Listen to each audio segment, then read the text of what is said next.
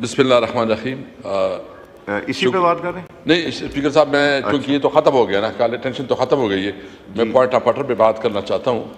और मैं आपका शुक्रिया अदा करता हूँ आपने टाइम दिया है। सबसे पहले अ, मुझे बहुत अफसोस से कहना पड़ता है क्योंकि मैं इस अ, इस मुआज़ चेयर पे भी रहा हूँ। और मुझे अपने बुज़ुर्गों ने और अपने मशरान ने जो तरबियत दी है, वो अखलाक और उसके अंदर रहती हुई अपनी बात जो है ना, वो हम करेंगे। तो चूँकि इस वक्त ख्वाजा साहब नहीं है तो मैं डिटेल बात उसके सामने करूँगा जब वो होगा। लेकिन कुछ एक दो पॉइंट ऐसे हैं कि मैं उसके गैर मौजूदगी में उसने कल उठाए हैं।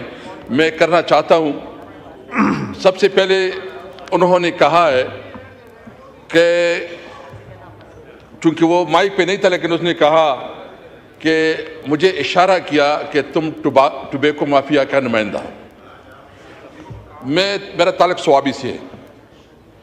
स्वाबी में पचपन परसेंट पचपन परसेंट ये जो है, ये टुबेको ग्रोविंग एरिया है।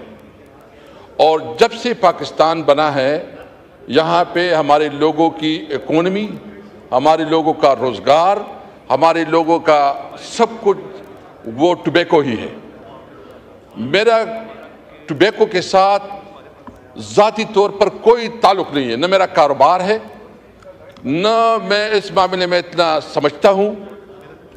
अगर किसी ने बताया कि मेरा कोई टुबेको कारोबार है या बिज़नेस है या मेरा कोई मैंने खुद टुबेको ग्रो भी की हो तो मैं जिम्मेदार हूँ उसके लिए। हाँ ये मेरी रिस्पॉन्सिबिलिटी है कि मैं अपने इलाके की नुमाइंदगी करूँगा, अपने इलाके की आवाज़ बनूँगा और अपने इलाके की जो जो मुझे भेजा गया है, मेरी रिस्पॉन्सिबिलिटी के मैं उसके लिए। उन्होंने बताया, स्पीकर साहब, मैं आपके नोटिस में लाऊं। जब मैं स्पीकर था और हमने एक एग्रीकल्चर कमेटी बनाई थी तो उसमें हमने शब्बर जैदी को बुलाया।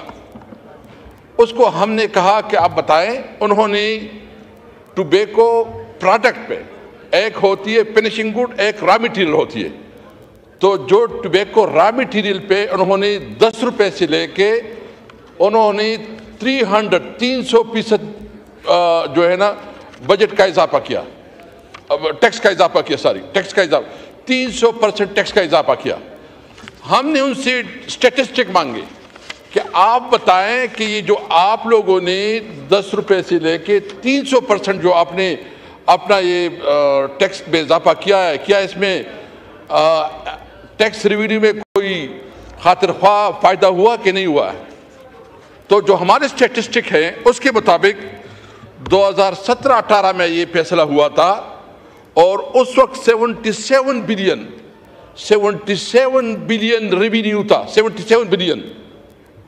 जब हमने फैसला किया, बल्कि मैंने फैसला नहीं किया, पूरी कमेटी ने फैसला किया, पूरी एग्रीकल्चर कमेटी ने फैसला किया।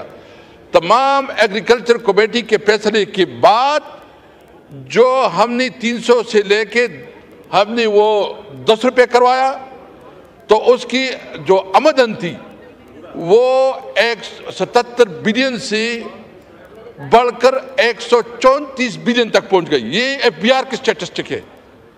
सतहत्तर बिलियन से वो वो चले गए एक सौ चौंतीस बिलियन पे। और 2023 में वो पहुँचे हैं 160 बिलियन मैं पूछना चाहता हूँ कि क्या जो इस वक्त हमने ये भी मुतालबा किया, स्पीकर साहब रिकॉर्ड का हिस्सा है, हमारे रिकॉर्ड में होगा के रिकॉर्ड में होगा। उस वक्त हमने ये मुतालबा किया कि बजाय आप रॉ मटेरियल पे आप टुबैको के फ़सल पे ड्यूटी लगाते हो, आप सिगरेट पे लगाओ। यानी आप सिगरेट पे नहीं लगाते टैक्स, और आप रेमिट, रॉ मटीरियल पे आप जो है डायरेक्ट फार्मर को मुतासर करते हो। फार्मर से इफ़ेक्ट होता है, इसकी इकोनॉमी इससे मुतासर होती है, उसका चूल्हा उससे जो है मुतासर होता है।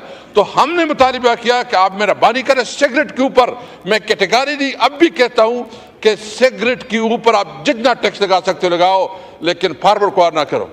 ये मुझे बताएँ, और स्पीकर साहब, मैं आपके नोटिस में वो भी लेना चाहता हूँ, बल्कि जब मैं स्पीकर केपी था, मैंने आपको एक रेजोल्यूशन भेजी थी, जो हमारे के पी सबने ने मुश्तरका और मुतफ़ा करारबाद पास की थी, कि टुबेको को एग्रीकल्चर प्रोडक्ट्स कंसिडर किया जाए, क्योंकि ये जो उधर से, और वो आपके पास रिकॉर्ड में पड़ी होगी। लेकिन आपके पास एक शब्बर जैदी ने टीवी टॉक शो पे बात की, और उन्होंने कहा कि स्पीकर साहब बैठे थे और कुछ टोबैको बैकग्राउंड के कोई बिजनेसमैन बैठे थे जो वो थे असम्बली में थे, वो आए थे और फिर जो है ना उन्होंने, उस वक्त तमाम एग्रीकल्चर कमेटी बैठी थी। और शब्बर जैदी साहब का, को मैं ये ये पूछना चाहता हूँ कि उसका नॉलेज जितना था, जो उसकी अपनी हैसियत थी, वो जब सेनेट कमेटी में पेश हुआ, उस वक्त वो पीटीसी वो पीटीसी का एक रिप्रेजेंटेटिव के तौर पर पेश हुआ था। मैं सिर्फ़ इसमें किसी कंपनी के खिलाफ बात नहीं करता। लेकिन होता ये कि जो बड़ी बड़ी कंपनियाँ होती हैं, वो वो जो है ना अपना इजारादारी कायम करती है। वो छोटी कंपनियों को नहीं छोड़ती। मैं बिल्कुल मुतालबा करता हूँ कि जो चोरी होती है, टैक्स की चोरी होती है, उसके ऊपर बैन भी होनी चाहिए, उसका कला कमा भी होनी चाहिए और उसके खिलाफ इकदाम भी होने चाहिए। लेकिन आप किसी तौर पर फार्मर को मुतासर नहीं कर सकते।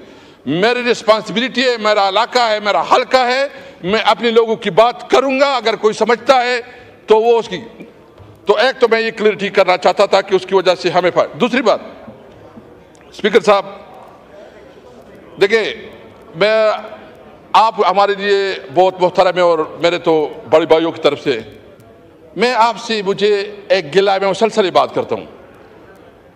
कि ये असम्बली जो है ना, इसकी हुसन होती है कि जब इसकी, जब इसके अंदर डिबेट हो और वो डिबेट पूरी दुनिया सुने। आप यकीन करें, कल जब ख्वाजा साहब तकरीर कर रहे थे तो वो लाइव चल रहा था और जिस वक्त जो है ना, हमारा अचकजई साहब उठ गया, आप रिकॉर्ड मांगे, जिस तरह ये उठ गया, टक बंद कर दिया। ये पूछ लो, कौन करता है? आप इस पे मेरे रिक्वेस्ट है आपसे आपसे रिक्वेस्ट है, आप रूलिंग दे। देखिए अगर कोई गलत बात करेगा, कोई नामनासिब लफ्ज बोलेगा तो उसकी अपनी शख्सियत उससे मसा होगी। मैं तो अपने बदतरीन दुश्मन के साथ भी बद, बदजबानी नहीं कर सकता। मेरे बुज़ुर्गों ने जो मुझे मुझे मुझे तरबियत दी है, लेकिन एक बात बिल्कुल क्लियर आवाज़ है, खुदा की कसम अल्लाह के अलावा किसी की परवाह नहीं है। न किसी की, अगर कोई कहता है कि मैं किसी की परवाह करूँगा नहीं हाँ मैं जब इस चेयर पे था तो मैंने सबकी रिस्पेक्ट की, सबकी खातिर की और सबको साथी किया। तो मेरी आपसे रिक्वेस्ट ये है कि आप मेहरबानी फरमाएँ। मुझे पता है कि वो मंजूर और ना मंजूर वाला था। जो उधर बैठे होते हैं और बनकर बनकर बनकर अच्छे से आप बोल रहे हैं। खुदा रसूल के वास्ते इस तरह ना करो। अपोजिशन से जो भी बोलता है, उसको जो बंद किया जाता है। मैं आपसे मुतालबा करता हूँ, ये करे। दो बातें और करना चाहता हूँ, एजेंडे के अलावा। स्पीकर साहब, एक इस वक्त जो है हमारे फाटा के खैबर में और वजीरस्तान में। दरने बैठे हैं और दरने इसलिए बैठे हैं कि हुकूमत ने उसके साथ कमिटमेंट की थी कि जब ऑपरेशन हो रहे थे तो उस वक्त जब उसकी रिप्लेसमेंट हुई जब उसकी तबाहकारियाँ हुई, जो उसकी नुकसान हुई, उसके बारे में उनकी बाकायदा कमिटमेंट है कि हम आपको पेमेंट करेंगे। आज तक एक रुपया, एक पैसा नहीं दिया गया। मेरी आपसे इल्तमास है कि आप एक स्पेशल कमेटी बनाएँ। चंद लोगों की जो उधर फाटा की जो मुतल नुमाइंदे, उसको भी इसमें रखें, ताकि एक मिनट आप साइड पे हो जाए। साइड पे हो जाओ और एक एक मेहरबानी करें कि एक कमेटी बनाए, ताकि फैसिलिटेट करे कि ये जो फाटा के लोगों की जायज़ हकूक है, जो हुकूमत ने माने उसके साथ जो कमिटमेंट किए इसके बावजूद वो पेमेंट नहीं हो रही, क्यों नहीं हो रही? अगर सूबाई हुकूमत नहीं कर रही या वफाकी हुकूमत नहीं कर रही तो एक तो मेहरबानी। दूसरी मेरी अख्तर मंगल साहब भी तशरीफ़ फरमा है और वो बात भी करेंगे। जो बलूचिस्तान में हुआ, मुझे अफसोस इस बात पे है कि बलूचिस्तान में इतनी ज़्यादा सीरियस वाक़ात हुई, इतनी ज़्यादा जो है ना, यानी हमारे फौजी मरे, हमें इस पर अफसोस है। अगर पंजाब के मजदूर मरे, हमें इस पर अफसोस है। हम इसकी मजम्मत करते हैं।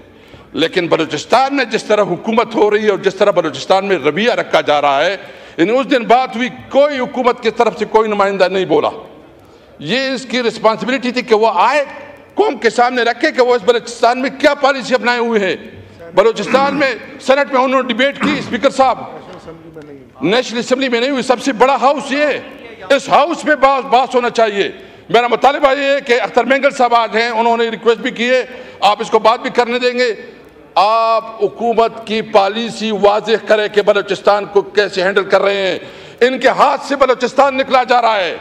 आज जो है ना पूरी बलोच की आवाम जो है ना वो मारंग बलोच के साथ है। एक बेचारी, एक एक खातून, एक बच्ची। और इसके खिलाफ ये प्रोपिगंडा शुरू किए हुए हैं कि जो मारंग बलोच जो है ना दशदर को सपोर्ट कर रहे कर रहे हैं। बहुत अफसोस है खुदारा इस मुल्क के साथ रहम करे। मैं तो देख रहा हूँ कि इस मुल्क में जो ना खाना जंगी की तरफ़ जा रहा है। मैं तो देख रहा हूँ कि मुल्क अनर्की की तरफ़ जा रहा है। मेरी उम्मीद है आपसे स्पीकर साहब आपका चेयर बहुत इंपॉर्टेंट है। इस पर डिबेट करवाएँ इस पे डिस्कशन करवाएँ सोल्यूशन निकलवाएँ ताकि हमारे जो बलोच भाई हैं जो हमारे फाटा के भाई हैं इनको एहसास हो कि पार्लियामेंट में उसकी बात सुनी जा रही है। बिस्मिल्लाह रहमान रहीम। इसी पे बात कर रहे हैं।